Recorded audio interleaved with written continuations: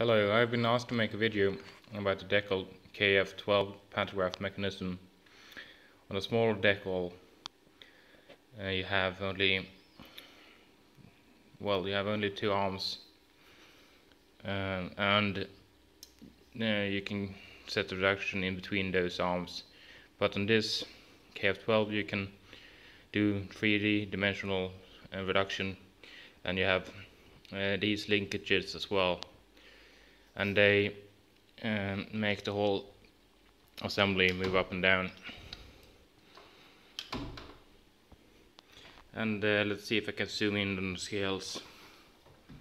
Let's see. Yeah well we have a scale uh, from 1 to 8 in this arm and uh, on this arm as well.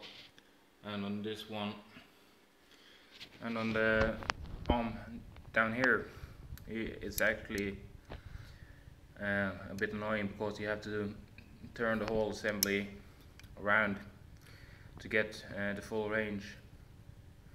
Yeah I hope this helps. Bye